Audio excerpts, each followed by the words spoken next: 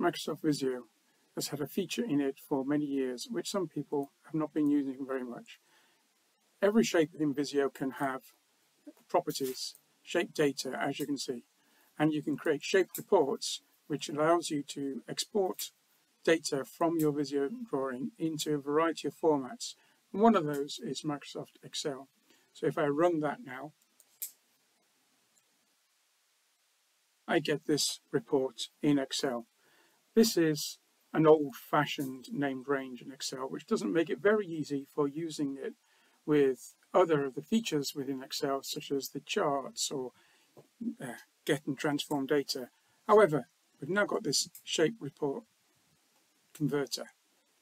So all I've got to do now is to run that, and hey presto, I've got a new up-to-date table in Excel, which I can use and do a variety of things with.